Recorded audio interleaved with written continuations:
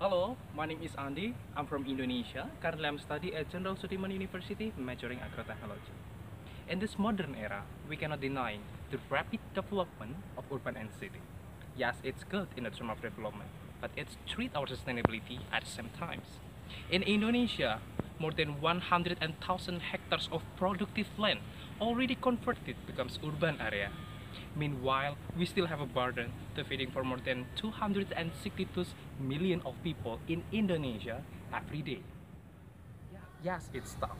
Therefore, we need a suitable solutions. Intensification and extensification of the land will be suitable solution to overcome this problem.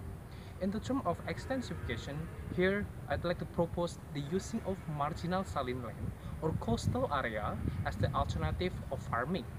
Why? Because in Indonesia, almost 30% area categorized as marginal saline land. And until now, that land actually haven't used yet because of that salinity, so that the society cannot doing farming or cultivating in this area. In the term of intensification, here I'd like to propose the using of straw. Straw is actually the waste that produced from the harvested rice plant. Mostly society burn that straw because if this straw is not handled properly, it can become the cause of disease. We should understand three main benefits of the straw itself.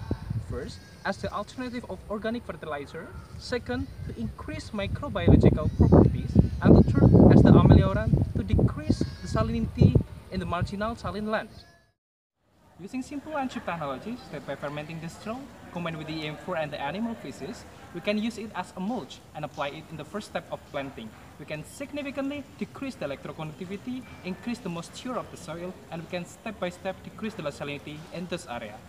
Society demanding something simple and applicable. Therefore, we'd like to package the fermented straw as a liquid, capsule, and granule and distribute it massively to the society so that the society can use it easily. My goal is that addresses rural development with integrated manner and improving the productivity. By improving the productivity, we will not only help the people who live in the coastal area, but we can also support the idea of food security that lead to the zero hunger, which is in line with the sustainable development goals.